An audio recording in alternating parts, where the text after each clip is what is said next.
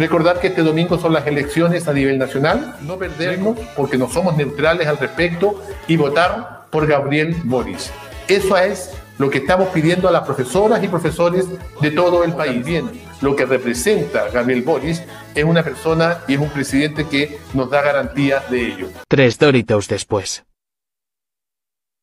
Hemos venido el día de hoy como directorio nacional a dejar una carta al presidente de la República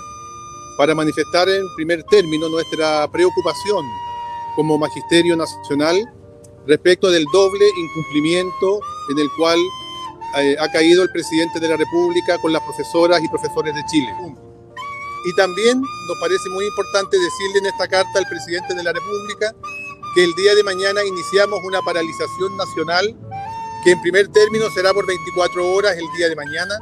pero los días 2 y 3 de agosto será por 48 horas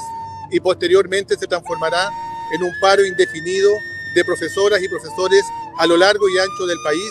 si es que no da respuesta el presidente y el ministerio a las legítimas y justas demandas que hemos venido planteando hace más de un año al actual gobierno.